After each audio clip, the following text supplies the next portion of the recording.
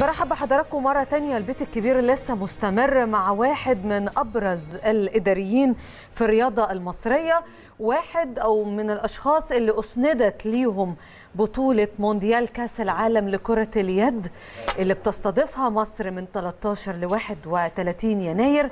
آه، بنبارك مرة تانية لمنتخبنا الوطني بالتعادل المرضي جدا مع فريق سلوفينيا فريق سلوفينيا فريق عنيد. النهارده نجح منتخبنا الوطني إنه يتعادل ويتأهل لدور ال- المجموعات أو دور الثمانيه فان إحنا النهارده معانا يمكن برضو كمان واحد من أسماء ال- الإدارة المهمة جدا في الرياضة يا جماعة. والنهارده بي- بينجح في مهام أخرى هنتكلم معاه فيها بالتفاصيل و- واهلاوي جدا جدا الأستاذ ممدوح الششتري أهلا يا فندم. أهلا بيك. كابتن هاني. نورنا أهلاً. أستاذ ممدوح. وحشني. جدا جدا. يعني, يعني عمر. آه عمر بجد. وعمر طويل وعشرة كبيرة جدا طبعا جدا. طبعا يا كابتن. ودايما حضرتك شخصية محترمة جدا. وعلى المستوى الإداري ما شاء الله يعني آه، يعني مدير التنفيذي اللجنة الأولمبية مهام صعبة كبيرة جدا وكمان مهمة أسندت لحضرتك في ظروف صعبة جدا جدا صحيح. آه، لإقامة بطولة عالمية. كل العالم بيتغنى بهذه البطولة وهذا التنظيم فبنشكرك على وجودك معنا في قناة النادي الأهلي. الاهلي النادي الأهلي بيتنا و... وأنا سعيد جدا إن أنا أبقى موجود مع حضرتك وطبعا حضرتك. وفي البيت الكبير اللي هو البيت النادي الأهلي. منورنا دايما قبل دايماً. ما هنتكلم ونسرد يعني في آه، حاجات كتيرة جدا جدا. عندنا تقرير خاص بالأستاذ ممدوح الششتاوي نروح نشوفه ونرجع مع حضراتكم في البيت الكبير.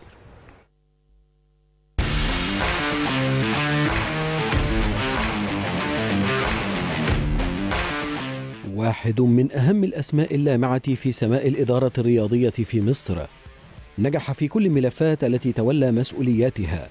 إنه المتميز ممدوح الششتاوي المدير التنفيذي للجنة الأولمبية المصرية. يعتبر الششتاوي واحدة من العناصر الإدارية اللافتة في ظل القيادة الناجحة له في اللجنة الأولمبية على مدار السنوات الماضية وهو ما منحه ثقة المسؤولين عن الرياضة المصرية فتم اختياره من قبل المسؤولين في مصر ضمن اللجنة العليا المنظمة لكأس العالم لكرة اليد متسلحا بنجاحاته السابقة في العديد من الملفات المهمة التي أسندت إليه خلال الفترات الماضية.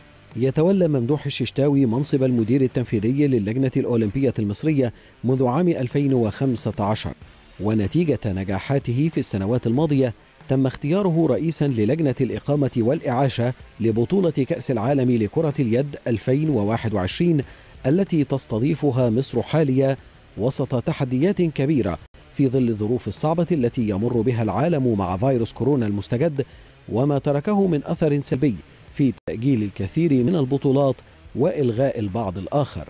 ولم تكن المهمة سهلة على ممدوح الششتاوي لكن الرجل نجح بامتياز في كل الملفات السابقة التي تولى مسؤوليتها من قبل حيث كان رئيس لجنة الإقامة والإعاشة في بطولة كأس الأمم الإفريقية لكرة القدم عام 2006 ورئيس لجنة الإقامة والإعاشة في كأس العالم لكرة القدم للناشئين عام 2009 في مصر. ورئيس لجنة الإقامة خلال بطولة كأس الأمم الإفريقية لكرة القدم عام 2019 والتي أقيمت لأول مرة بأربعة وعشرين منتخبا. وسبق أن تولى ممدوح الششتاوي منصب عضو لجنة شؤون اللاعبين بالاتحاد المصري لكرة القدم عام 2008 وبعيدا عن الرياضة يشغل الرجل منصب المدير الإقليمي للتسويق لعدد كبير من شركات الفنادق والسياحة العالمية منذ أكثر من 25 عاماً.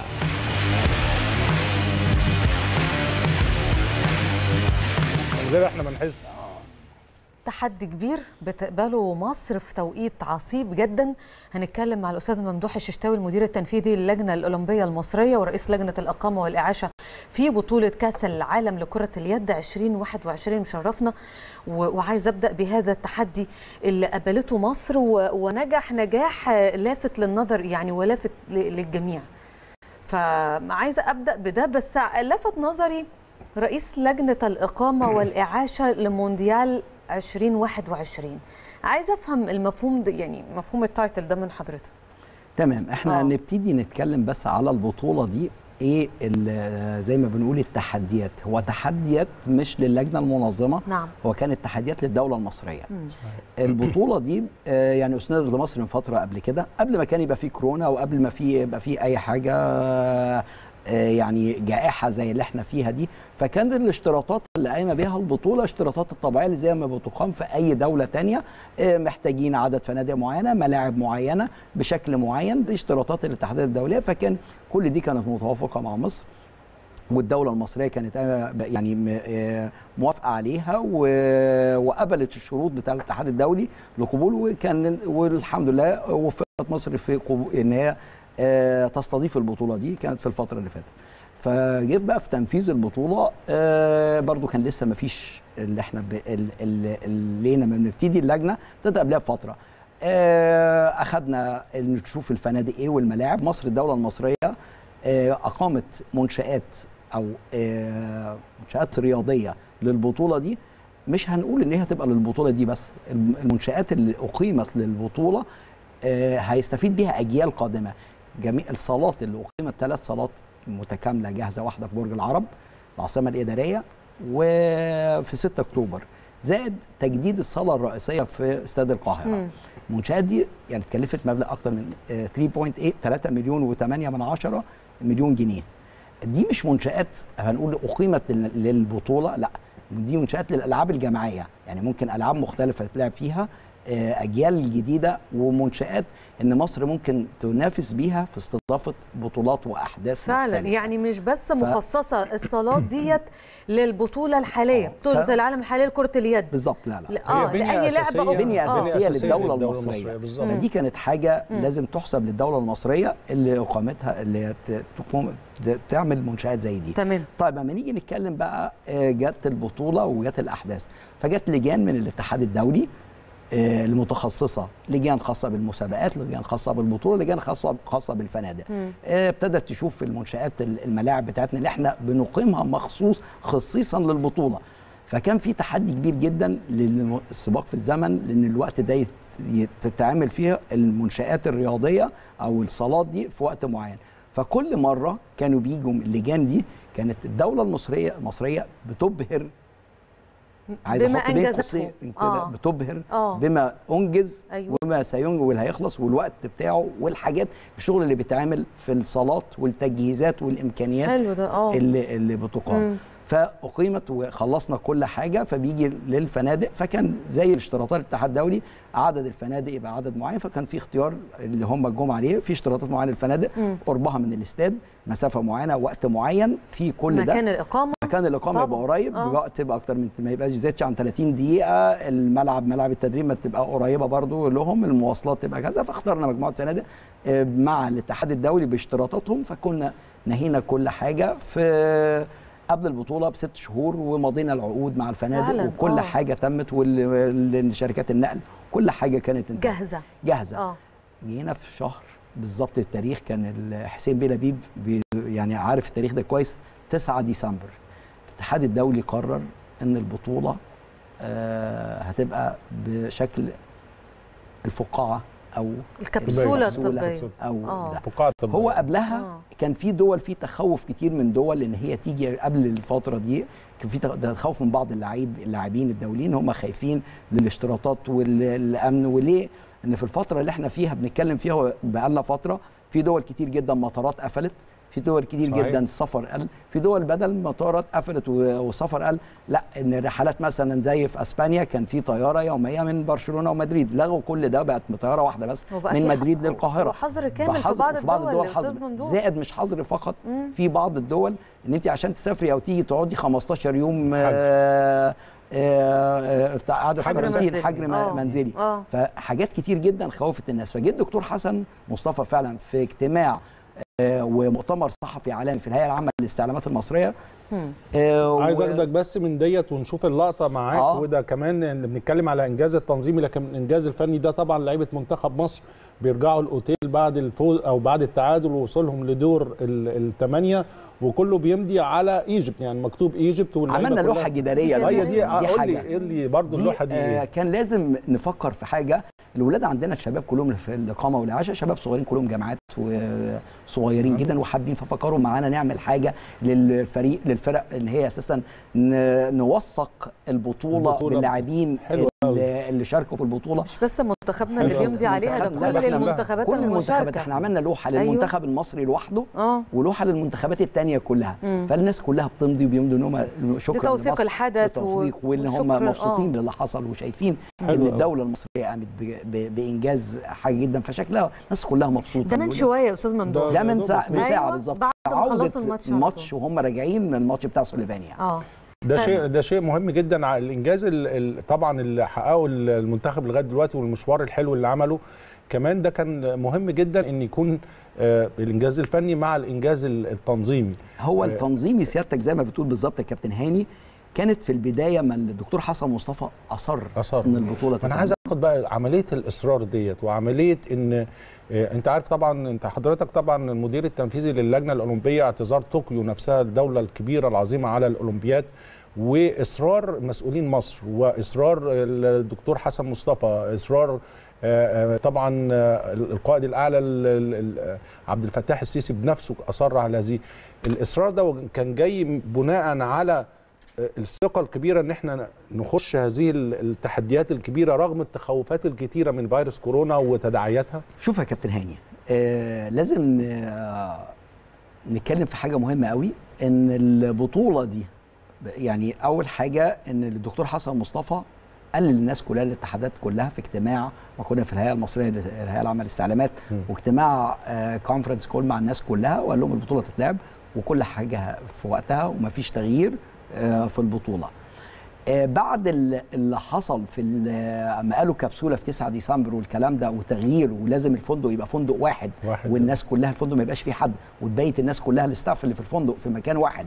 والسواقين يبقوا بايتين مع الناس والعاملين والاستاف بتوع الفندق بايتين ف آه، في 9 ديسمبر والبطولة بعدها بكام يوم انت هتجيب فنادق منين تقفل الفندق لوحده حتى هنقول لو الفندق خلاص هتفضي الناس طب لو واحد حاجز فرح هنقول حضرتك ممكن تتجوز كمان يعني أجل الجواز أو أجل. العروسة تحديات شوف عروسة ثانية آه. مش عارف يعني.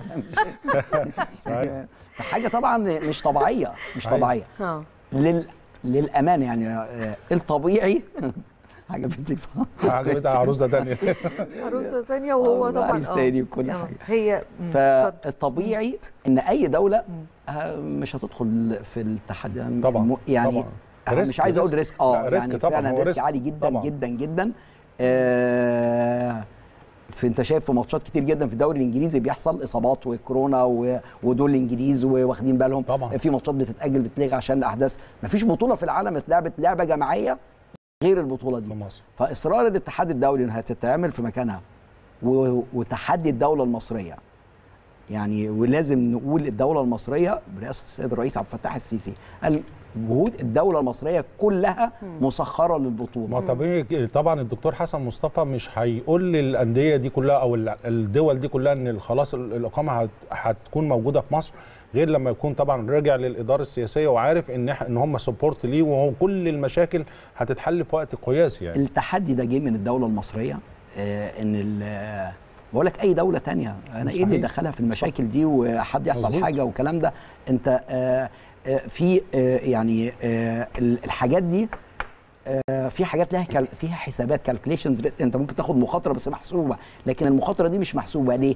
ال... انت ما تعرفش الفيروس ده إيه وظروفه إيه وممكن يجي إزاي ولا له علاج صحيح. ولا اي حاجة فانت بتلعب مخاطرة صعبة جدا لكن آه لقوة الدولة المصرية وعزيمة الشعب المصري و... و...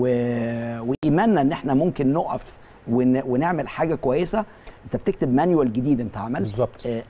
guideline ان انت تقول هتمشي بالحاجة دي إزاي و guideline انت بتكتبه بإيدك هتبقى في إجراءات صحية تمشي إزاي كذا كذا آه يعني ليه؟ ما خدتوش من. حتة مفيش وعملت حاجة. example ما فيش حاجة أول مرة أول تحصل. حد هتسأله آخر جائحة حصلت سنة 1918 أيوة، أيوة، الإنفلونزا أيوة. الإنجليزية الإسبانية فعشان تسألي حد من 1918 كلهم ماتوا لا، يعني عملتوا إيه حضرتك وما ما عملوش بطولة. أصلا حد موجود أنت النهارده. بتتكلم على تفشي جائحة مش عاي... يعني هي كمان زادت بشكل كبير جدا في الأسابيع الحالية صحيح. عشان إحنا بقى عندنا شتاء ومش بس هنا ده في العالم وفي كله العالم في العالم كله. كله ف... فمهم جدا كمان إن إحنا نلقي الضوء على الإجراءات ما الصحيه هو ده دي اللي حصل بقى انت و- بتكتبي مانيوال جديد جديده صحيح. بتكتبيها. أيوه هو ده ده ممكن يتاخد يبقى مثال لبطولات تانية تتعمل. صح. ليه؟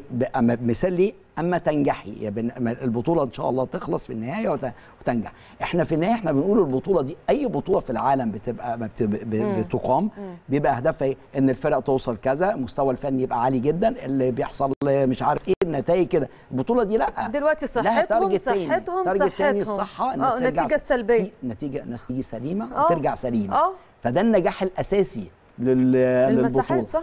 أنا يعني هكلمك بقى بصراحة يعني أكتر حد كان مدار في البطولة دي الاتحاد المصري لكرة اليد. ليه؟ إن البطولة دي الاتحاد آه، آه، تخوف كبير جدا من إقامة البطولة الفترة دي ولا عمل إعداد صحيح ولا ماتشات ودية كانوا عايزين عدد ماتشات ودية مثلا أعتقد يعني أنا مش. هتكلم في لا أنا هتكلم بحاجات فنية أنا آه. يعني أنا برضو علاقتي بالكرة اليد زي علاقه حضرتك بالفضاء يعني. برضو مش آه. لا، ما- كانوا يعني- طالبين يمكن 30 مباراة كانوا طالبين ودية. 30 ما لعبوش غير ماتشين مع اليابان وكان البرازيل هيجوا ما جوش فأنت. متخيلة إزاي يلعب مع إن الفرق الأوروبية بقى بتلعب مع بعض وده يقدر يسافر لبلد فهم كانوا في وضع يعني فعلا صعب جدا جدا جدا. أعتقد إن هم كانوا يتمنوا إن البطولة تتأجل شوية يتم إلى- إرجاعها. وعلى أساس آه. برضو إن هم ما فيش جماهير في البطولة. فدي برضو عامل آه، البطولة عندك في مصر. آه طب. في النقطة دي عايز أتكلم مع حضرتك فيها لأن كان في الأول آه، كان يقال إن 30% أو كان 30 وبقت 20 وبقت وبقت مفيش 20 وبقت خالص. ده بناء على طبعا المصلحة العامة طبعا مصلحه ما هو كله ترفع عن إن أنا أكسب البطولة أو أو أو أو لأن ده plus لينا يعني بالظبط. ده, ده plus لينا إحنا وصلنا إن إحنا نعمل حاجة تنظيميا على أعلى مستوى نحافظ على الناس اللي جاية يبقى النتيجة بتاعتنا. الناس تيجي بقى ما ترجع لا الدولة دي دولة قوية دولة قامت بال- ب- بمجهودات ما فيش حد عملها. صح. طب هم بيعملوا إيه؟ طب عايزين ناخد آه، آه، مثال بقى عملوا إيه؟ وحصل إن كان موجود البعثة اللي بتاعت بولندا اللي هم هينظموا البطولة اللي جاية. طلبوا يقعدوا معانا مع رئيس ال- البعثة آه، آه، مع معالي الوزير الدكتور أشرف صبحي وحسين بيه لبيب يقعدوا معايا يشوفوا أنتوا عملتوا. إيه آه. عشان عملتوا كده إزاي؟ صح. صح لا بتعملوا لا إيه عشان يبقى جايد آه عشان يبقى, يشتغلوا عليها آه. فده دليل نجاح لنا كبير جدا جدا جدا وإحنا ماشيين إحنا كل يوم أما النتائج إحنا بنعمل مساحات كل 48 ساعة أنا كنت. لسه اسال حضرتك إزاي بتتابع كل الأعداد ديت وكمان مصر أو البطولة ديت خاصة عدد الفرق زاد بقت أول مرة في 32 تاريخ البطولات دولة. ل 32 دولة. فاشرح لنا كده ال- البروتوكول ماشي إزاي؟ الناس لازم تعرف المجهود الكبير اللي حضراتكم بتقوم بيه. بتتابع الحالات إزاي كل يوم؟ المساحات بتجرى إزاي؟ الفقاعة الطبية ديت إزاي بتحتويها؟ بشكل جامد. حضرتك بتتكلم إن آه، دلوقتي ال- ال- العامل موجود في هذه الفقاعة سواق ال- ال- الباص بتاع الفرق موجود في هذه. فحضرتك كلمني على المجهود اليومي اللي الناس مش شايفاه. أول حاجة الناس اللي بتشتغل المنظومه بتاعت كرة اليد المصرية فعلا الواحد لازم يشيد بيها اشاده يعني كبيرة جدا. آه، أنا أول مرة أشتغل معاهم آه، مع إنهم معظمهم زملكاوية. حبايبنا برضه مفيش مشكلة. أوكي. ف وأنا أهلاوي. آه، إحنا بنتكلم على المنتخب بقى مفيش مشكله لا اللي مجلس الإدارة يعني مجلس منتخب مصر. آه آه يعني أنا بجد بجد سعدت وتشرفت بالعمل مع منظومة كرة اليد الاتحاد المصري لكرة اليد مهندس هشام نصر. آه، كابتن مؤمن صفا. مجلس الإدارة بالكامل آه، كابتن علي سيد ماسك المنتخبات. حسين بلبيب مدير بطولة حاجة يعني بجد يعني آه، أنا بحب أروح أقعد معاهم يعني وبعدين كويس قوي إن أنا من خارج كرة اليد وبيدوني المساحة إن أنا أشتغل وأعمل و تكريت يعني أنا أبتدي أقول لهم في أفكار أو يقبلوها والكلام ده. آه كابتن خالد فتحي آه مدحت بيه البلتاجي علامة من علامة الناس اللي في كرة اليد. زي طبعا كبير المنظومة دكتور حسن مصطفى اللي متواجد معانا. في كل وقت طبعا. وفي كل حاجة. آه الدور الكبير لوزارة الشباب والرياضة دكتور أشرف صبحي. اللي قاعد معانا قاعد معانا آه يعني أنا بكلمه الساعة واحدة بالليل. أقول له في كذا هعمل كذا. أنا هنطلع الناس اللي يعني إحنا كابتن حسين لبيب مكلمينه بعد عشرة تقريبا من الكلام ده الأسبوع اللي فات وكان يعني بيقول لنا إن لسه في المكتب ولسه بي يعني الناس دي حضرتك كل الأسماء اللي ذكرتها ما بتنامش لا فعلا هو إحنا بالإضافة اتفقنا على حاجة للمتطوعين ان إحنا البطولة شهر هنصحى شهر وننام شهر يعني مثلا. آه صح كده ده. مش كده كابتن حسين؟ يعني مساء الخير عليكم كلكم. مساء الخير يا كابتن حسين. كابتن حسين لبيب طبعا مدير مدير بطولة المونديال النهارده بتقام على أرض مصر. وشرفنا للمرة الثانية على التليفون يا كابتن حسين. ويمكن أنا أستاذ أتشرف إن أنا معاكم والله. لا أنت دايماً- اللي مشرفنا دايماً. دايما في البيت الكبير. ومعانا قامة كبيرة طبعا أستاذ ممدوح الششتاوي كمان بيقول شعر حضرتك وما شاء الله يعني واضح جدا التجانس وواضح جدا التفاهم لكل دوت لأجل مصر. وإحنا عارفين إحنا بنشتغل على مستوى الدولي دايما. سمعة مصر بتبقى مهمة جدا. فرأي حضرتك طبعا اولا في الفوز الكبير أو التعادل بطعم الفوز النهارده لمنتخبنا. وطبعا أستاذ ممدوح الششتاوي كمان وجوده في طبعا يعتبر من اللجنة المنظمة. كمان نتكلم على دور الأستاذ ممدوح. يعني الأول هستاذن حضرتك آه، يعني هتكلم على ممدوح وبعدين اتكلم على الكوره اتفضل. آه، ممدوح بالنسبة لي اكتشاف خطير. يعني أنا بالنسبة لي أنا أنا ما كنتش أعرفه خالص بجد. آه. آه، قبل البطولة آه، اتعاملنا مع بعض إنسان في منتهى الرقي وفي نفس الوقت very professional يعني فاهم شغله كويس جدا جدا. آه، البطولة دي فعلا يعني بدون ممدوح فعلا أنا أؤكد إن ما كانش حد مننا هيقدر يعمل الحاجات اللي ممدوح عملها دي بجد يعني اقصد آه، أنا ما أعرفوش والله خالص. قبل تنظيم البطولة حضرتك يا كابتن حسين ما تعرفش أستاذ ممدوح؟ خالص والله. طب آه ليه ليه بقى حضرتك يعني ده رأيك فيه أو شفت فيه إيه حسيته دينامو في ال- في المنظومة دي؟ يعني أنا حد كان قال لي ان في شخص اسمه ممدوح الشاوي أنا بتكلم جد. ولو سمحت اقعد معاه. قعدنا قعدة لطيفة جدا في الأول. الحق يعني زي ما بيقولوا يعني من أول قعدة أنا لقيت ان ممدوح هيبقى مفيد إفادة كاملة لنا لأنه برضو زي ما بنقول إيه يعني ادي العيش لخبازه يعني كل واحد فينا بيبقى له شغل معين ممدوح بالنسبة لحتة الإقامة والإعاشة والانتقالات. آه. فاهمها كويس جدا. فاهمها كويس بمعنى كويس. وده شغله الأساسي. طب. آه، آه، آه، يعني زي ما بيقولوا كده اختيار الأشخاص هو أكتر حاجة ربنا بيوفق فيها. أنا معايا منظومة متكاملة أحدهم. يعني أنا بعتبره جندي مجهود لأن مش كل الناس عارفة لأن هو فعلا ريليتد للفنادق بس يعني يكفي إن تعرفي حضرتك إحنا تقريبا ال- الأجانب في حدود من 1600 ل 1800 مم. واللجنة المنظمة اللي قاعدين جوه غير ال- ال- السيرفيس الناس بتعمله في الفنادق تقريبا في حدود 2500 شخص ما شاء الله ممدوح مسيطر على المجموعة دي كلها بصرف النظر بقى. كام ألف مسيطر سيطره كتير.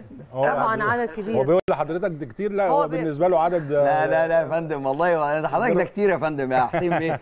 يعني أنت حضرتك أكتر مني بتتعب ده أنا قاعد أساسا صحيح. أقضي وقت مع الناس بس الحمد لله عشان الناس كلها معانا تيم كويس قوي وعامل صحيح. شغل كويس قوي. فده كتير يا ريس.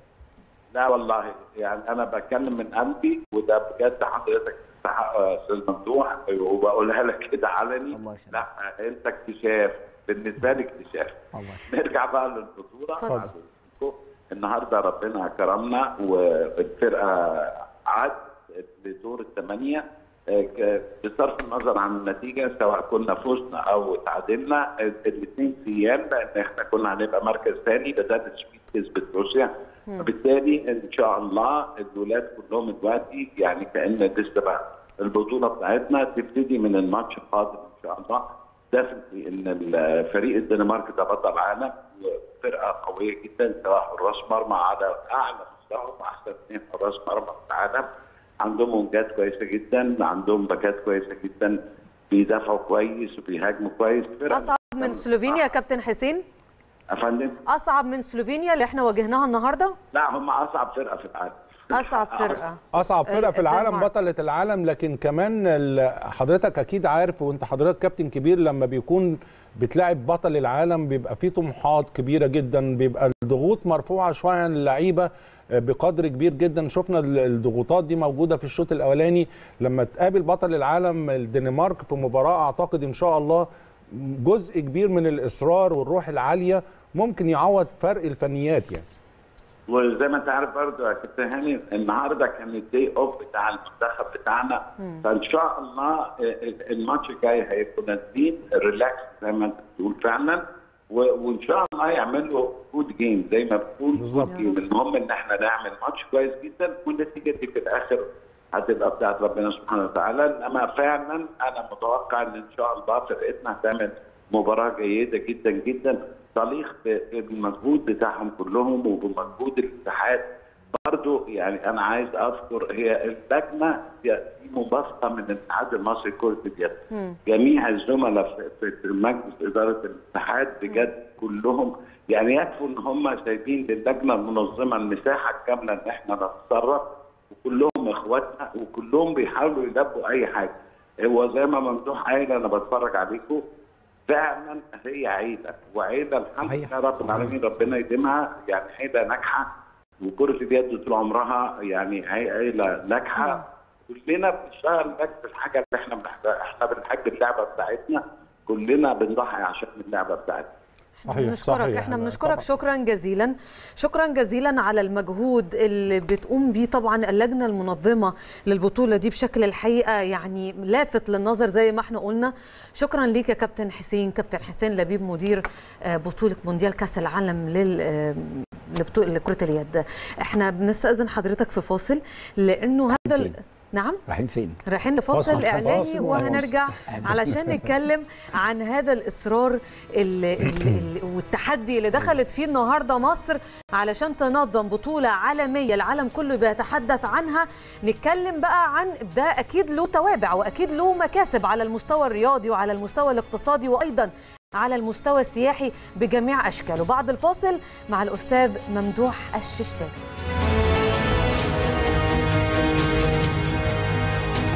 انطلاقا من الكلام اللي إحنا كنا بنقوله قبل الفاصل إنه مصر أخذت على عاتقها تنظيم بطولة عالمية بشكل لافت للنظر. حتى الآن ده ما كانش سهل.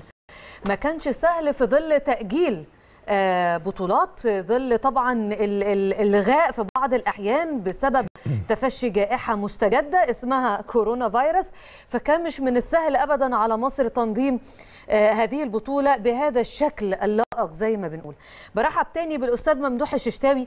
الأستاذ ممدوح الششتاوي هو واحد طبعا من الأسماء زي ما قلنا في سماء الإدارة الرياضية وهو طبعا المدير التنفيذي للجنة الأولمبية المصرية ورئيس لجنة الإقامة والإعاشة في بطولة كأس العالم لكرة اليد 2021 قبل الفصل كنا بنتكلم عن التحدي ده بس تحت الهوا كنا بنتكلم برضو عن فكرة إنه طبيعي جدا جدا إن المنتخبات دي والبلاد دي وأسر المنتخبات دي تكون خايفة على يعني اللي هي اللي هيمثلوهم في مصر. فكنا دايما يعني حضراتكم يعني كان منظمين بتفكروا دايما في إيه اللي يجذب النظر إيه اللي يطمن الناس دي إيه اللي يطمن المنتخبات ديت يعني بشكل يخليها مرتاحة في الأول في الآخر. بشكل يامنها صحيا؟ أكيد طبعا وسلامتهم. فكنت حضرتك حتى بتتكلم على آم، كيفية اختيار الأوتيلات اللي هم قاعدين فيها. إزاي النهارده هم مش بيروحوا يتدربوا في أماكن التدريب المخصص ليها؟ لأن اختيار حتى الأوتيلات ديت كان يعني على قد المستوى إن هم يعني ممكن يتدربوا في الجناين تحت. عشان طبعا موضوع الانتقال ده ما كانش سهل في ظل الجائحة. تمام. كلمنا أكتر بالتفصيل عن الجزئيه دي. نقول بقى إيه؟ أول ما ابتدينا عشان تقنعي الناس أو الاتحاد الدولي وافق عملنا الجايد لاين اللي إحنا هنمشي عليه عشان نبعته للناس كلها لت... ل- لتقليل مخاوف الناس وتحسسيهم إن هم جايين في أمان. ده التحدي الكبير اللي كان للدولة المصرية. آه إيه نقول لهم؟ أنتوا هتيجوا إزاي وهيحصل إيه؟ اللي أنا بقول لحضرتك عليه إن هو في حاجة زي كده اي حد يقول لك أنا إيه اللي دخلني في المتاهة دي دولة تانية مأجلها شوية 3 4 شهور على ما الدنيا تظبط والجو يبقى كويس طبيعي. وال- والحاجة دي نعملها فاحنا عملنا يعني ده احتفال بعيد ميلاد واحد من اللعيبة بتوع الدنمارك طب ما ده نجاح كمان ده ده نجاح كمان إنك تعمل هذا الاحتفالية في ظل ده بيدل إن الناس مطمنة يا أستاذ ممدوح ده. الناس مطمنة. يعني عندهم نوع من أنواع الاطمئنان إن أنا قاعد وبحتفل وجايب تورتة و... بنجيب له تورتة بنحتفل بيه ونديله هدية والناس قاعد مبسوطة وقاعد أوي. لا بيتفاعل في حاجة معاك تانية كمان آه. منتخب الدنمارك ده كنت بتقولي أكتر منتخب كان قلقان آه، من المنتخبات اللي كانت قلقانة جدا المنتخبات اللي كانت قلقانة yes، جدا. حقيقي ده حقيقي آه. ده حقيقي فالناس هي بتستمتع الصورة حلوة أوي وقاعدين بصراحة. والصورة بيضحكوا وجايين ال staff بتاع الأوتيل ومعاه ال staff بتوعنا بتوع لجنة الإقامة والإعاشة بي ده عليهم الساينج بتاعهم الدنمارك عليها اسمهم المكان بتاعهم. حلو قوي بيعملوا. تورتاية وبيحتفلوا بيهم وبيدوا لهم بالك. ال details الصغيرة بتفرق مع الأجانب دي- جدا. دي- يعني مع الأجانب بالظبط وأنا عشت معاهم بالظبط. أنت دي- أدرى واحد مننا في آه، حاجة زي كده. بيطمنوا جدا الاهتمام الشخصي بالبني يعني يعني حاجة اهتمام بهتم بحضرتك شخصيا. يعني لما أجي أنا من حاجة من الفنادق أو السياحه ما تيجي تدخلي أنا عارف ان حضرتك حاجزه آه، كابتن هاني حاجز عندنا في الاوتيل هو جاي اول مره ينزل الاوتيل بس أنا عارف أقول له أهلا يا كابتن هاني. من غير ما فهو بيحس بقيمته وهو رايح مثلا الاوتيل في سريلانكا. وعارفينه بالاسم فالمقابلة الشخصية دي حتى لو كان متضايق من السفر أو أو أو أو أو فبيبقى يبتدي يهدى أو حاجة مضايقاه. ففي حاجة مهمة بتدخلي مكان وحد بيقابلك شخصي بتحس إن انت آه، في اهتمام بيكي. فإحنا ابتدينا بقى بنقول إيه عملنا إيه؟ قلنا نبعت لهم للدول كلها نقول لهم على guideline هنمشي عليه طب إيه هو ال guideline أهم أهم حاجة فيه التأمين الصحي والاحت... ال... ال... يعني الإجراءات الاحترازية الصحية اللي هي تبقى. نقول إن هي بتأمن الناس دخولها وخروجها. فعملنا program اسمه from door to door من الباب للباب. آه إن آه أنت هتجيب الناس من الطيارة ترجعيهم الطيارة. طيب إزاي؟ تقللي عدد أقل ناس بتقابلهم عدد الناس اللي تقابلهم والانتقالات ال- ال- صح يعني ولا التعامل إيه؟ آه. التعامل معاهم آه يعني آه. التعامل معاهم آه أقل عدد ممكن على أساس بتقللي آه، مخاطرة آه، آه، التعرض تعرض موضوع ل- تباعد مع يعني. حد تاني يبقى في آه. تباعد لا انت بس مش بتعملي تباعد انت قللتي عدد اعداد الناس اللي هتتعامل معاهم فاحنا كنا خصصنا لكل فريق اتنين آه team leader مع كل فريق فال team leader دول حفظناهم مثلا team leader بتاع ألمانيا. بيتكلموا ألماني الولدين دول كويس قوي و professionals جدا وابتدوا يقروا عن فريق ألمانيا أساميهم إيه والناس إيه وكل حاجة اللعيبة وأهم لعيبة مين وي وي وي.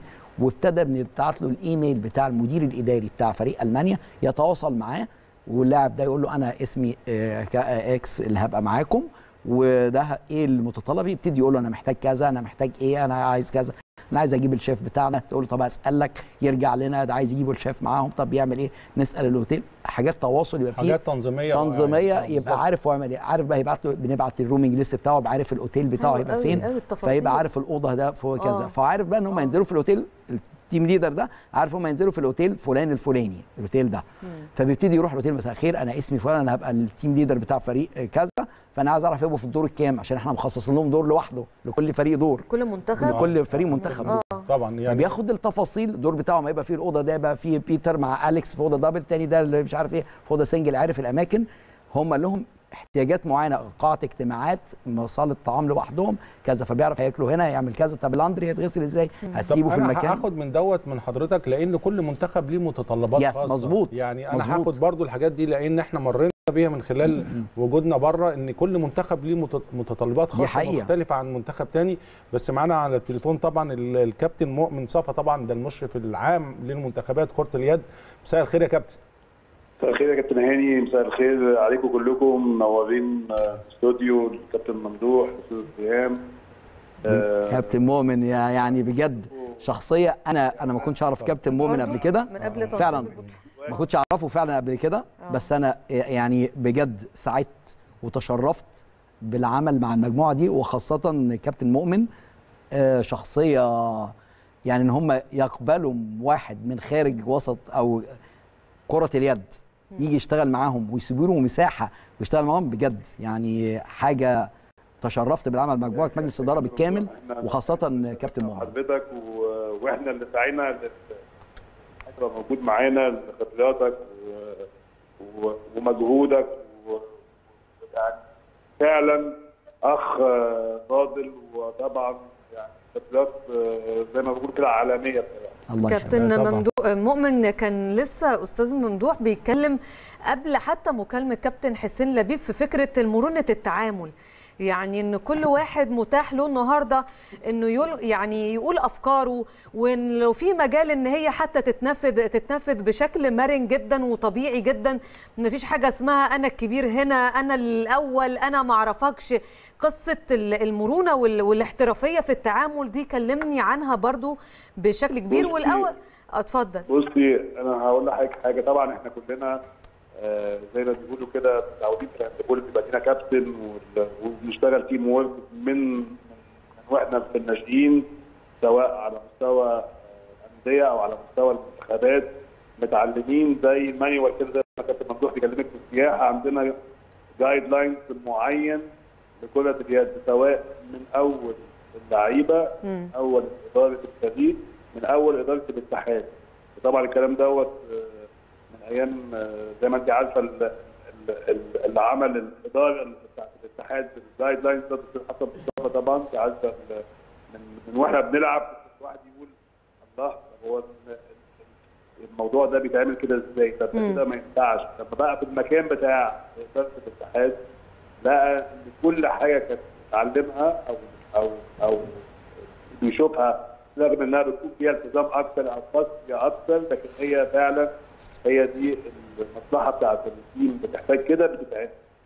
فإحنا الحمد لله الحمد لله ان إن ال teamwork واحد طبعا برضو عندنا background business فسواء آه، على مستوى الناس اللي بتدير الاتحاد أو على مستوى الناس اللي بتدير اللجنة المنظمة. كلنا في الآخر متعلمين من بعض وده منعكس يا كابتن مؤمن على نجاح وتنظيم البطولة دي زي ما إحنا الحمد قلنا لله آه. الحمد لله إن هو زي ما الموضوع بيقول لك إن يعني إحنا آه، يمكن أستاذ ممدوح أول مرة يشتغل مع كرة اليد. لكن آه، لما جه قال لك أنا هروح فين في وسط الناس ديت لقى ان في مساحة ولقى ان في افكار حطها على الترابيزه ومش بيتكلم بس في الحتة بتاعت سواء الإقامات أو بيتكلم في حاجات تانية خالص آه، يعني ممكن تكون يكون هو مش حاسس إن إحنا ممكن ناخد رأيه فيها. لا بالعكس ده هو يقول رأيه زي steering committee يعني يعني صحيح. لجنة تنفيذية بمفهوم اللجنة التنفيذية. صحيح. ده مهم جدا يا كابتن وخلينا أتكلم معاك بكل أمانة. إحنا يعني هنا في مصر أعتقد من أفضل الاتحادات على مستوى الاتحادات في الكرات الجماعية هو الاتحاد المصري لكره لكرة اليد. وشفنا ده من خلال يعني مشوار طويل في كرة اليد وأجيال كتيرة جدا. لكن آه، مع كمان إضافة جديدة الاستاذ ممدوح طبعا إضافة لأي مكان مع طبعاً، آه، طبعاً. الاحترافية في التعامل مع كمان ال vision. عنده فيجن وعنده جديد وعنده آه، عنده كمان غير الخبرات عنده أفكار بتطرح من خلال حاجة عايز يزودها وبالتالي بيلاقي مساحة يشتغل فيها زي ما قال. فده دليل على النجاح الكبير. كابتن مؤمن النهارده تابعت إزاي مباراة النهارده؟ يعني كان كل الناس بصراحة يعني في مصر كلها كانت بتتفرج على المباراة وكان أعصابنا مشدودة شوية. شفت إزاي هذه المباراة والتعادل مع آه، يعني خصم عنيد زي سلوفينيا ومشوارنا إن شاء الله في دور الثمانيه بإذن الله. والله هو هو أنا عايز أبتدي من مشوارنا في البطولة كله لأن هو accumulated يعني كل كل ماتش هو متركب على اللي بعديه كل ماتش كل فوز ليك بي- بيديلك بيفتح لك شباك في في في ال- في المباراه اللي بعديها صحيح. إحنا لما ابتدينا البطولة انت عارف إحنا كان بسبب الكوفيد إحنا كان عندنا آه، برنامج بال- بالاحتكاك ما اتعملش طبعا لأن. الظروف خارجة عن إرادتنا. يعني وكانت ال- متمرنين كويس جدا لكن كان اللعيبة انت عارف المعسكرات التدريبية مختلفة تماما عن لياقة المباراه وخاصة في أجيال مختلفة في ناشئين وفي شباب وفي لعيبة محترفة. فكان في ت- توليفة كده محتاجة وقت يعني. ما بين الناس دي كلها صحيح. على الأقل على الأقل حوالي مثلا في آخر شهر ده على الأقل ست سبع مباريات فإحنا دلوقتي اللي أنا شايفه من ماتش لماتش بتاخد آه الهارموني بيتظبط صحيح، الدفاع بيتظبط الهجوم بيتحسن. حراسة المرمى بتاخد ثقه أكتر. كل المدارس اللي إحنا بتلعبها ديت مدارس مختلفة. لو انت ابتديت بالمدرسة روسيا وبيلاروسيا مثلا والسويد سرعه بيلاروسيا وروسيا آه، قوة. النهارده مدرسة يوغوسلافيا ديت زي ما بيقولوا كده هو بتجمع الاثنين بتجمع القوة وبتجمع والمهارة نفسها. المهارة. صحيح. أنت عارف مدر- مدرسة يوغوسلافيا عموما في الهاندبول زي زي البرازيل كده في الكورة بالنسبة للمهارات يعني. مم. فالنهاردة كان أعنف ماتش بالنسبة للمنتخب المصري يلعبه مش بكلمك على مستوى بس المهارات لا ماتش عنف في عنف في ضرب في صحيح. شد، في دم. كان في دم النهارده يا كابتن في آه. الملعب. آه. بعدين هم ذاكروا منتخب مصر كويس جدا وقفلوا له نقط القوة بتاعته. والحمد لله إن إحنا قدرنا برضو بين الشوطين إن إحنا ما ابتديناش بداية قوية زي كل مباراة. كنا بنبتدي بداية قوية يدي ثقة البدايه قوية. فال- فالفريق الثاني يجري وراه إحنا النهارده إحنا اللي بنجري ورا سلوفينيا لغاية أول 10 دقائق في الشوط الثاني وبعدين نزلنا بالريتم بتاعنا. مشينا جون بجون لغاية ال- الآخر وفرقنا بالاخر واحد والحمد لله ربنا كرمنا إيه؟ إن إحنا آه، خرجنا ب- سواء كان لينا تعادل أو مكسب يطلعنا آه، دور الثمانية. واللي أنا عايز أقوله بس إن البطولة ديت إحنا طلعنا دور الثمانية البطولة اللي فاتت.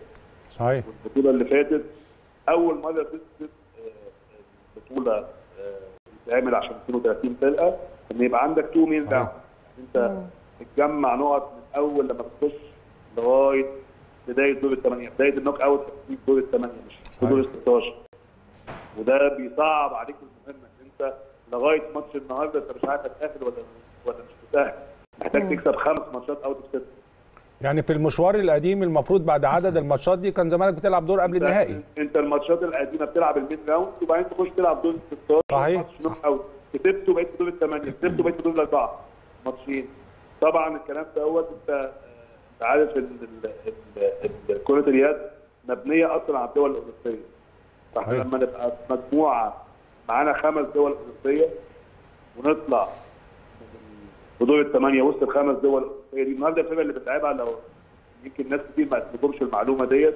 سلوفينيا دي الرابع كاس اوروبا اللي معمول من ست شهور ولا سبع شهور في السويد. يعني هي كانت على منصة التتويج أو أقرب إلى منصة التتويج أكيد. في آه، بطولة أوروبا بطوله الامم الاوروبيه في السويد طلعت الرابع. كان البطل كان أسبانيا كان بيلعب final مع كرواتيا. كان الماتش ال semi final أعتقد كان سلوفينيا والبرتغال. إحنا بنشكره. اتفضل. الفرقة دي آه. آه، ليها كرة يد يوغوسلافية متوجة لسه من سبع ثمان لا وكمان على مستوى الخبراء اللي كانوا موجودين معانا هنا على خبراء كرة اليد اللي كانوا موجودين هم كانوا بيقولوا أصعب المباريات اللي ممكن تقابل مصر هو منتخب سلوفينيا وده اللي حصل النهارده. وبنتمنى إن شاء الله ال ال هذا التعادل بطعم الفوز إن شاء الله بيكون دفعة لدور الثمانيه وإن شاء الله ايا كان ايا كان المنافس لا، إحنا عارفين خلاص الدنمارك يعني بس عندنا أمل كبير جدا يعني. وربنا إن شاء الله يعني هو دور الثمانية هتلعب دنمارك بطل عالم هتلعب ثاني عالم هتلعب ثالث عالم. انت وسط الثمانية الكبار دلوقتي صحيح صحيح صحيح. مبروك أي لحضرتك ومبروك لمنتخب مصر ما وجودنا في الثمانيه الكبار. وعلى أمل بإذن الله نحقق المعجزة ونبقى في الدور الأربعة بإذن الله. كابتن مؤمن شكرا جزيلا لحضرتك. آه، أستاذ ممدوح آه، كابتن مؤمن شكرا يا. كابتن مؤمن بجد. يعني ال- سعدت إن أنا بشتغل معاك والله يا كابتن مؤمن. آه، شخصية محترمة جدا. إن شاء الله كل التوفيق ليه. نروح لفاصل ونرجع مع الكابتن الكبير ممدوح الششتاوي. خليتك كابتن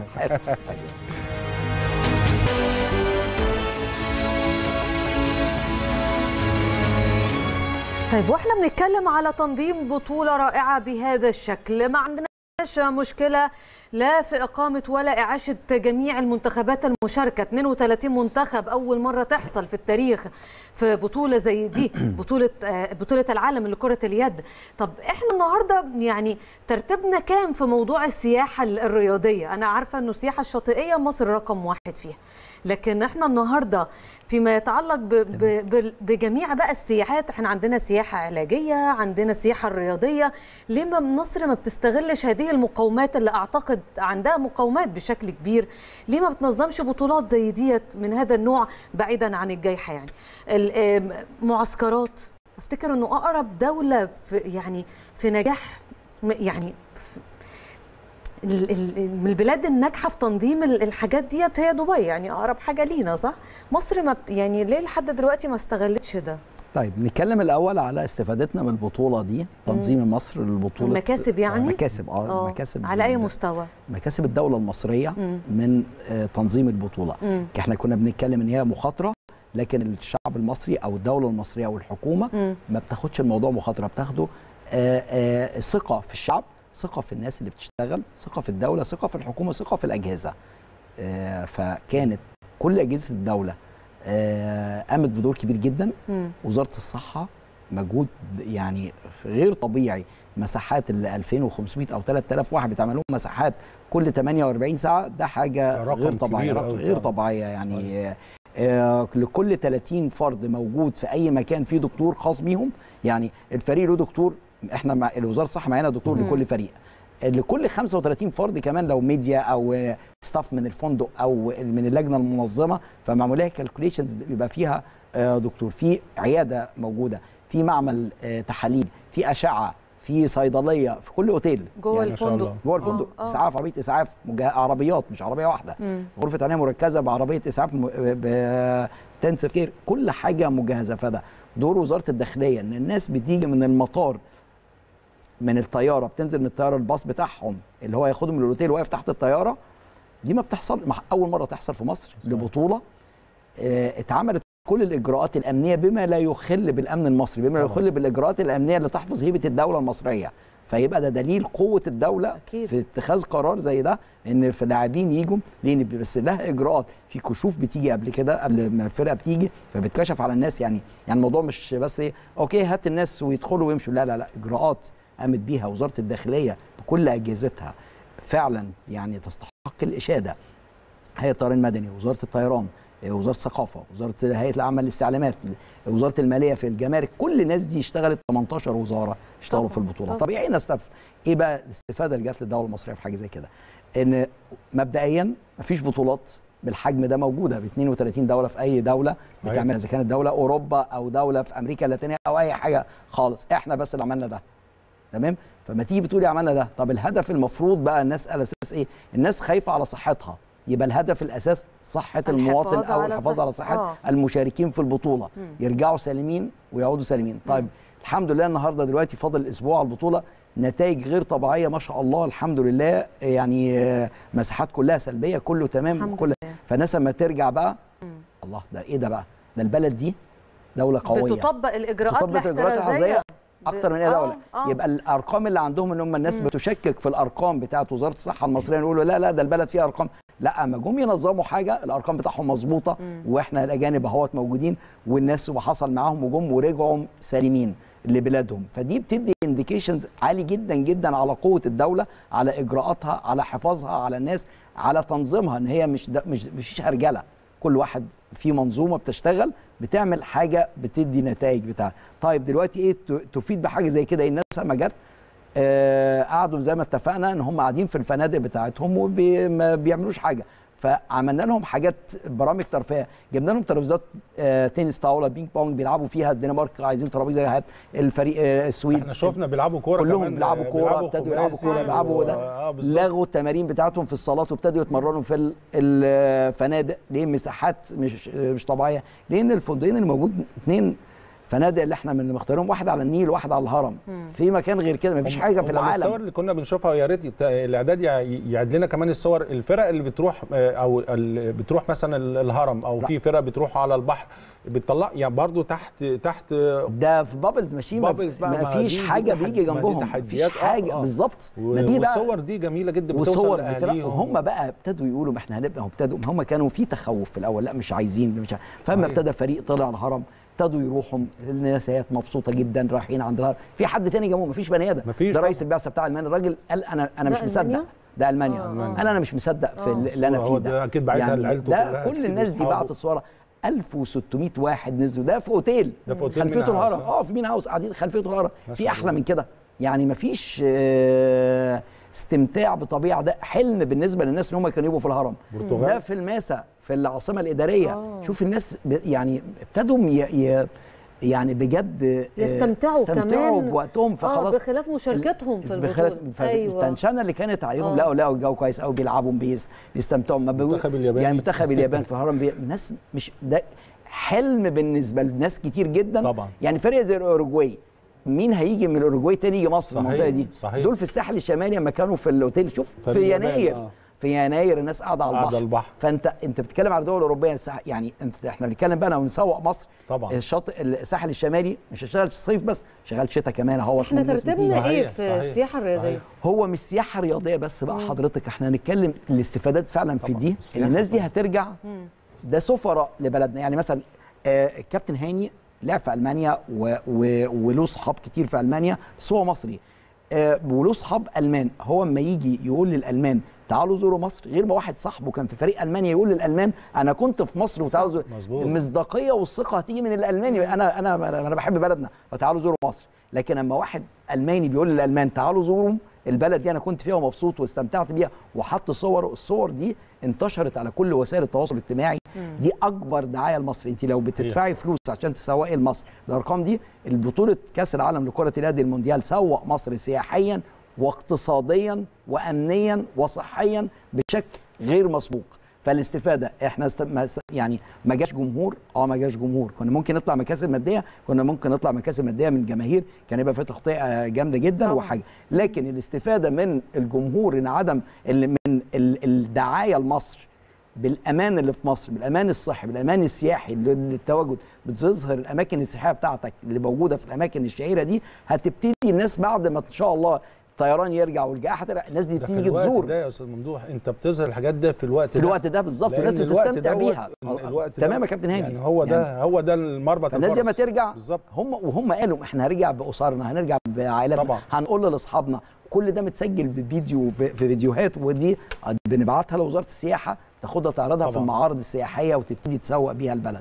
زي ما نرجع بقى حضرتك بتقولي السياحه الرياضيه السياحه الرياضيه فيها مقومات كتير جدا. اللي لازم نقول إيه اللي مصر, اللي تملك- عندها مقاومه آه مصر آه. تملك إيه في المقومات الم- السياحة الرياضية محتاجة إيه؟ منشأ رياضي. عندنا منشآت. في أماكن السياحة عندنا منشآت رياضية قامت بيها الدولة المصرية ووزارة الشباب والرياضة. يعني آه، الدكتور أشرف صبحي عمل منشآت رياضية في أماكن غير طبيعية. عندنا في شرم الشيخ في الغردقة في الإسماعيلية في أسوان أماكن كتير جدا. طب محتاج جنب المنشاه إيه؟ فنادق. الأماكن دي كلها فنادق. موجودة آه، جنب الأماكن دي فيبقى المنشأة الفندقية وال- والملاعب. طيب في إيه تاني ممكن؟ الجو إحنا عندنا جو صيف وشتاء ممكن صحيح. تقيمي فيها للدول الأوروبية. طب إيه ال tools الأساسي اللي ممكن تشتغل عليهم وده؟ أنا مش هتكلم على الكورة بقى هتكلم على الألعاب الفردية. آه، آه، في ألعاب محتاجة إن أنت تتنافسي مع حد عشان ترفعي المستوى. أنت عندك في ال top 50 في العالم مصريين في ألعاب مختلفة كتير جدا. عندك في التايكوندو هدايه ملاك سيف عيسى ناس من ال من ال يعني ranking عالي جدا في مصريين. المصريين. ففي في السكواش في ال في الجودو في, ال آه. في لا خلينا في الألعاب اللي هي فيها آه. منافسات آه آه. جودو آه. آه. ملاكمة فممكن في ول- دول تانية تحب تيجي تتنافس مع دول عشان ترفع المستوى. فانت أيوة. ال tools بتاعك أنا اول معسكر فيه هدايه ملاك في التايكوندو وفي كذا فدول تانية تيجي عشان تشارك فانت بتجذبي الناس تيجي. زائد سعر الإقامة في مصر في الفنادق في المعسكرات أقل كتير جدا جدا جدا. الدول الأوروبية أنت عندك average hour في الطيران بينك وبين أي دولة في أوروبا ثلاث ساعات ونص. فانت ممكن تبقى منطقة جذب للمعسكرات الرياضية للألعاب ال- ودوت. يا أستاذ ممدوح اللي بيحصل دلوقتي دوت ده آه، أرض صلبة ده basic بيتحط صحيح، لما صحيح، جاي يعني صحيح. ان شاء الله بإذن الله ربنا يزيح عن العالم كله جائحة كورونا فأنت بتتكلم لو السنة اللي جاية أنت عندك ال basic وعندك صحيح. الثقة وعندك الصور اللي بتشجع الناس تيجي مصر وعندنا كل المقومات إن شاء الله اللي. إحنا نشتغل بيها على المستوى تنظيم عالمي عندنا إن شاء الله السياحة الرياضية تكون مهمة جدا عندنا صحيح. كل الإمكانيات والامكانيات الموجوده باشخاص زي حضرتك الله يخليك لا. الناس كلها يعني وخبرات لا يعني إحنا بنتكلم very professional انت على مستوى professional جدا.